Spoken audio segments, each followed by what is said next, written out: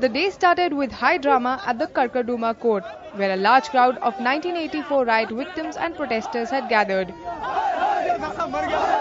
They were demanding the rejection of CBI's clean chit for Jagdish Tytler, the Congress leader accused of instigating anti-Sikh riots in 1984.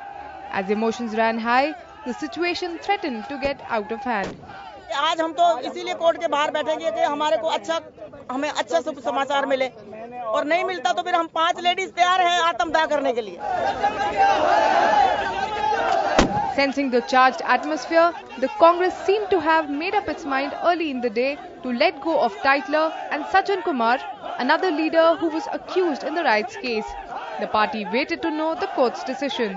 But the hearing was deferred after CBI questioned the magisterial court's jurisdiction to decide the case.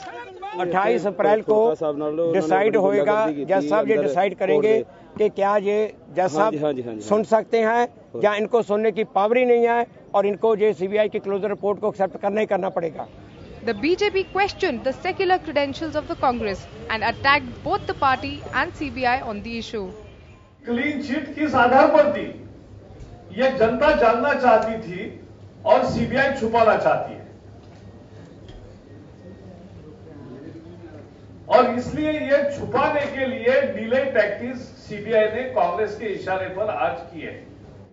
Meanwhile, Tytler got wind of the changing Congress mood. I said my heart says a lot of embarrassment has been caused to the party. I don't think I should fight.